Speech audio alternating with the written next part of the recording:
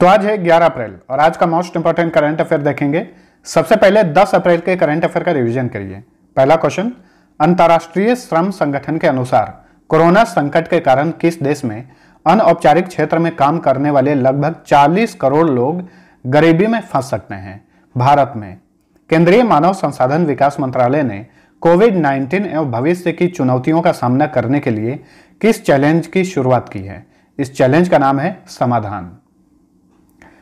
आई Q air के data के मुताबिक दुनिया के शीर्ष 20 सबसे प्रदूषित स्थानों में से भारत के कौन से दो शहर शामिल हैं? मुंबई तथा कोलकाता दो शहर शामिल हैं विश्व के 20 सबसे प्रदूषित स्थानों में। ठीक है 2019 में 14 शहर थे, लेकिन इस बार सिर्फ़ दो हैं।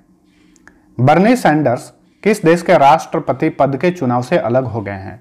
ये अमेरिका के राष्ट्रपति पद के उम्मीदवार थे लेकिन अब ये पीछे हट गए हैं। सूक्ष्म लघु व मध्यम उद्यमों को आपातकालीन ऋण प्रदान करने के लिए किस संस्था ने सेफ़ प्लस योजना लॉन्च किया है? सिडबी ने।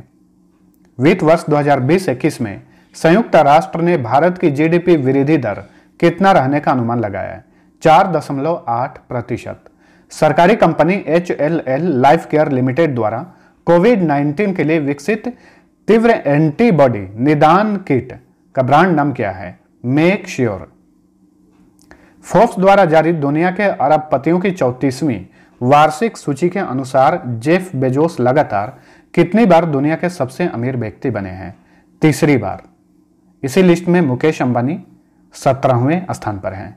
ठीक है? इसे भी आप लोग ध्यान में रखना। पहले नौवें स्थान पर थे।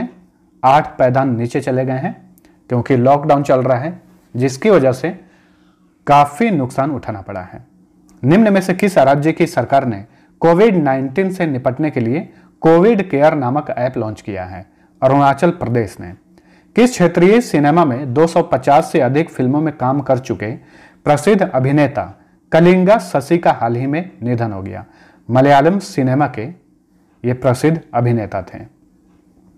विजडन पत्रिका ने किस क्रिकेटर को 2019 के लिए विश्व में सर्वश्रेष्ठ क्रिकेटर 2020 का खिताब दिया है? बेन स्टोक्स को। ये इंग्लैंड के ऑलराउंडर हैं, ठीक है? वहीं महिला श्रेणी में विजडन के सर्वश्रेष्ठ महिला क्रिकेटर 2020 का खिताब जीती हैं एलिसे पेरी। ये ऑस्ट्रेलिया की हैं, ठीक है? वहीं विजडन द्वारा क्रिकेटर ऑफ़ द ईयर चुने गए हैं इस वर्ष। जोफ्रा आर्चर इंग्लैंड के हैं, पैट कमिंस ऑस्ट्रेलिया के हैं, साइमन हैमर दक्षिण अफ्रीका के हैं, मार्नस लाबुस चगने, ये ऑस्ट्रेलिया के हैं। अब चलिए आज का करंट अफेयर देखते हैं। और फ्रेंड्स वीडियो के लास्ट में प्रीवियस मंथ से भी टॉप टेन करंट अफेयर का टेस्ट लगाऊँगा। तो आप लोग टेस्ट को ज़रूर सोल्व करना। चलिए देखते हैं। पहला क्वेश्चन केंद्र सरकार ने कोरोना वायरस के चलते देश में पैदा हुए संकट से लड़ने और स्वास्थ्य प्रणाली में सुधार हेतु कितने करोड़ रुपए का इमरजेंसी पैकेज की मंजूरी दे दी है? पंद्रह हज़ार करोड़ रुपए। ऑप्शन सी सही उत्तर है। कोरोना वायरस से लड़ने के लिए और स्वास्थ्य प्रणाली में सुधार के लिए हाल ही में केंद्र सरकार ने इमरजेंसी पैकेज के रूप में पंद्रह हज़ार करोड़ रुपए की मंजूरी दे दी है। इन पैसों में से सात हज़ार सात सौ चौहत्तर करोड़ रुपए कोविड 19 इमरजेंसी रिस्पांस फंड में खर्च किए जाएँगे। बाकी के अगले चार साल में समय समय पर ज़रूरत पड़ने पर खर्च होगा। ठीक है? चलिए, अगला क्वेश्चन है। निम्न में से किस भारतीय किसान वैज्ञानिक ने बायो फोर्टिफाइड गाजर विकसित किया है? इनका नाम है वल्लभ भाई वसरम भाई मरवानिया। हाल ही में इन्होंने एक बायो फोर्टिफाइड गाजर विकसित किया है। ठीक है? ये जो गाजर है, इसमें बीटा कैरोटीन और आयरन की अधिकता है। वल्लभ भाई, वसरम भाई मरवानिया। ये कहाँ के हैं? गुजरात के हैं। गुजरात के जूनागढ़ के रहने वाले हैं। आपको बता दें कि राष्ट्रपति रामनाथ कोविंद ने 2017 में इन्हें राष्ट्रीय पुरस्कार से सम्मानित किया था। अगला क्वेश्चन। केंद्र सरकार ने बैंक बोर्ड ब्यूरो के वर्तमान सदस्यों का कार्यकाल कितने साल के लिए बढ़ा दिया है? तो बैंक बोर्ड ब्यूरो के वर्तमान सदस्यों का कार्यकाल अगले दो वर्षों के लिए बढ़ा दिया गया है। ऑप्शन डी सही उत्तर है। बैंक बोर्ड ब्यूरो, इसका गठन 2016 में किया गया था। हेडक्वार्टर मुंबई में है। वर्तमान में इसके चेयरमैन हैं भानु प्रताप शर्मा। किस राज्य के छात्रों ने एक ऐसा मानव रोबोट तैयार किया है जो डॉक्टरों के स्थान पर रोगियों की देखरेख करने में सक्षम है। तो छत्तीसगढ़ के इंजीनियरिंग के छात्रों ने एक ऐसा मानव रोबोट बनाया है जो कि डॉक्टरों के स्थान पर रोगियों की देख रेख कर सकता है।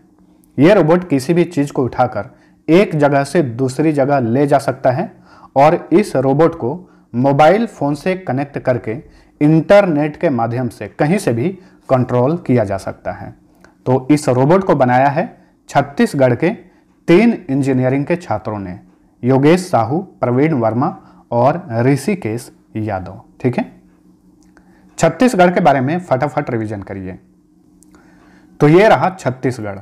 इसकी सीमा भारत के सात राज्यों को लगती है। कौन कौन से राज्य? झारखंड, उत्तर प्रदेश, मध्य प्रदेश, महाराष्ट्र, तेलंगाना, आंध्र प्रदेश और ओडिशा। तो सात राज्यों से छत्तीसगढ़ की सीमा लगती है। फ्रेंड्स बीच में आप एक रेखा देख रहे हैं। यह है कर्क रेखा। कर्क रेखा भारत के आठ राज्यों से होकर गुजरती है। कौन कौन से राज्य?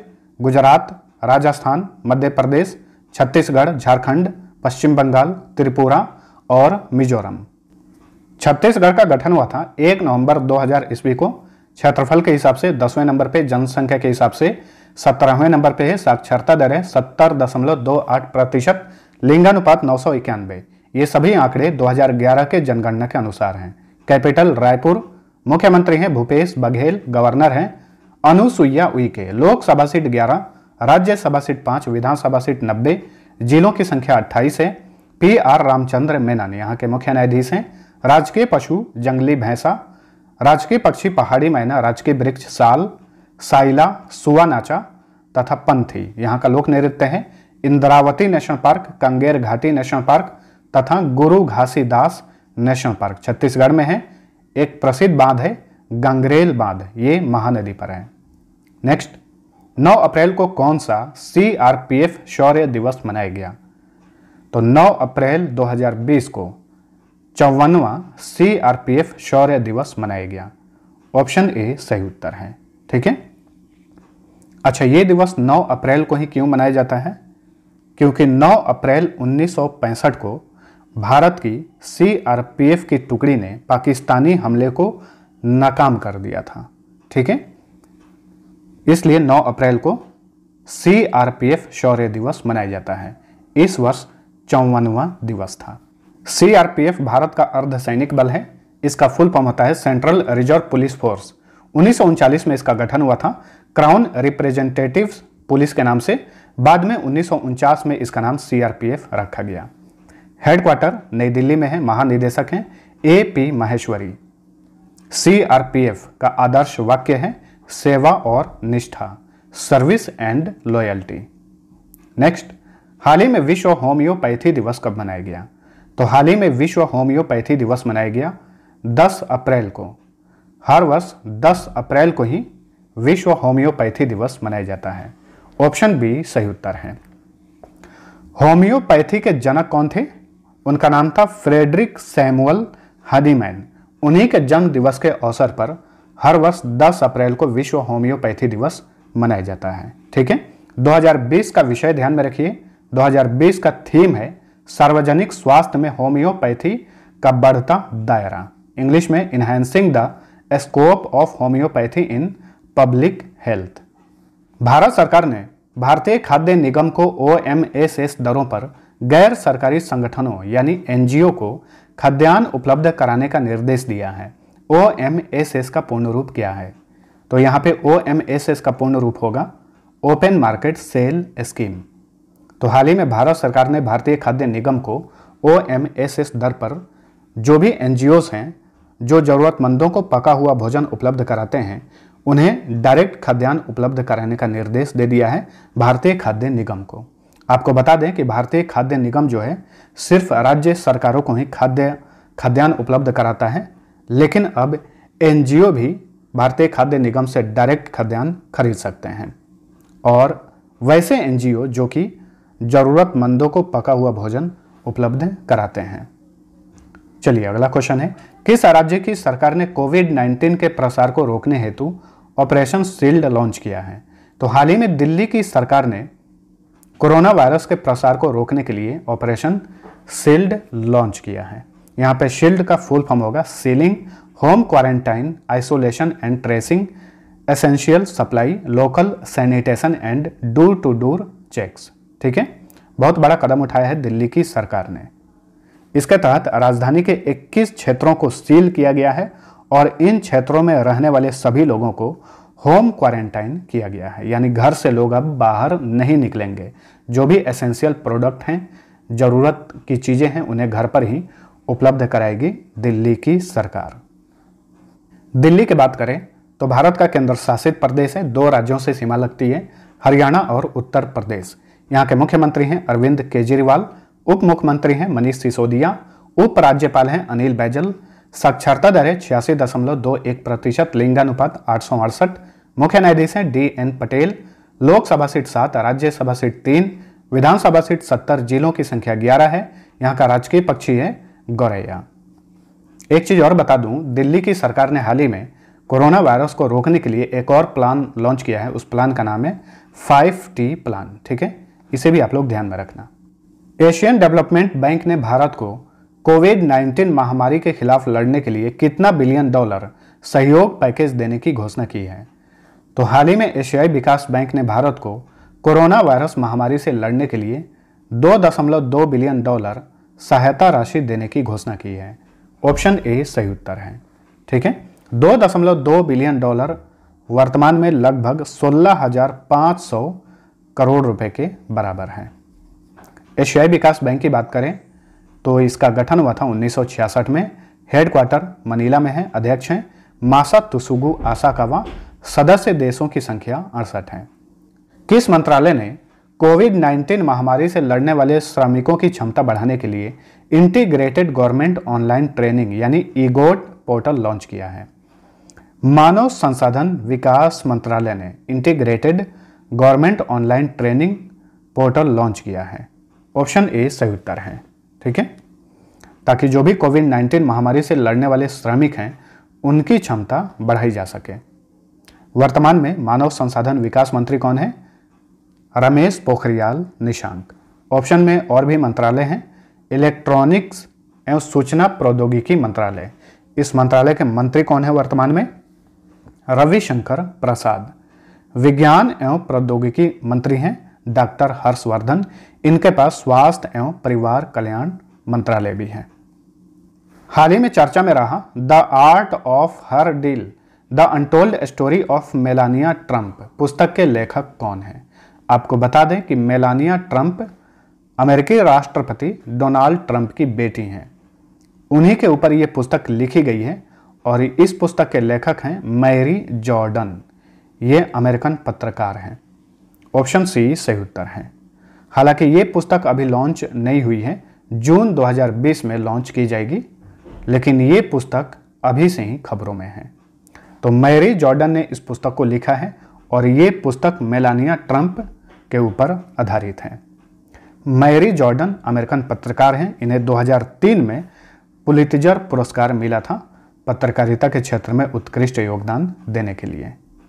तो ये था हमारा आज का करंट अफेयर। वीडियो पसंद आया है तो लाइक और शेयर ज़रूर करना। अब चलिए प्रीवियस मंथ से टॉप टेन करंट अफेयर का टेस्ट लगा रहा हूँ।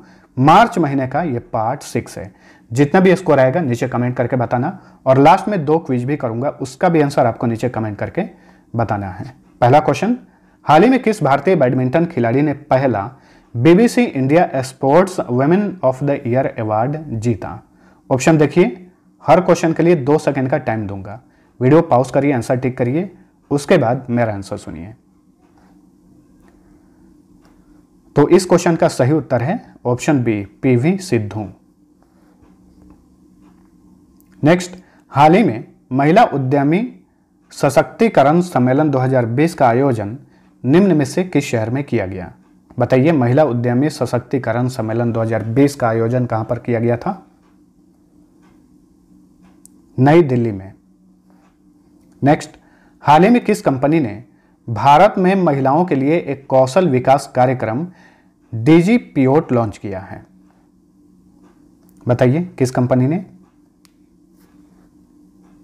गूगल ने ऑप्शन ए। नेक्स्ट, देश की अग्रणी फुटबॉल टूर्नामेंट आई लीग 2020 का खिताब किसने जीता? तो आई लीग 2020 का खिताब किसने जीता है? मोहन बगान ने। अगला क्वेश्चन है, हाल ही में भारतीय सेना ने किस शहर में एक पशु परिवहन स्मारक का उद्घाटन किया? तो मार्च महीने में भारतीय सेना ने कहाँ पर पशु परिवहन स्मारक का उद्घाटन किया? कर्नाटक की कैपिटल, बेंगलुरु में। नेक्स्ट, हाल ही में किस राज्य ने आई एम ऑल्सो डिजिटल नामक एक डिजिटल साक्षरता कार्यक्रम शुरू किया है? तो बताइए आई एम ऑल्सो डिजिटल नामक एक डिजिटल साक्षरता कार्यक्रम किसने शुरू किया है? केरल ने। कॉरपोरेट मंत्रालय ने गंभीर धोखाधड़ी जाँच कार्यालय के लिए इन्वेस्टिगेशन मैनुअल तैयार करने के लिए किसकी अध्यक्षता में 12 सदस्यीय उच्च स्तरीय समिति का गठन किया है? किसकी अध्यक्षता में ऑप्शन देखिए। सही उत्तर है ऑप्शन सी, इंजेती श्रीनिवास। हाल ही में launch comic book the adventures of the daredevil democrat किसके जीवन पर आधारित है? तो बताइए, ये पुस्तक किसके जीवन पर आधारित है? जिसे मार्च 2020 में ओडिशा के मुख्यमंत्री नवीन पटनायक ने लॉन्च किया। तो ये पुस्तक बीजू पटनायक के जीवन पर आधारित है। बीजू पटनायक ओडिशा के पूर्व मुख्यमंत्री थे और ये नवीन पटनायक के पिताजी थे। नेक्स्ट, किस दिन पशु परिवहन स्मरण दिवस के रूप में मनाने की घोषणा की गई है? तो बताइए, हर वर्ष पशु परिवहन स्मरण दिवस कब मनाया जाएगा? हर वर्ष 26 सितंबर को। Next Stockholm International Peace Research Institute यानी सिप्री के एक रिपोर्ट के अनुसार, हथियार आयात के मामले में भारत विश्व में कौन से स्थान पर है? बताइए।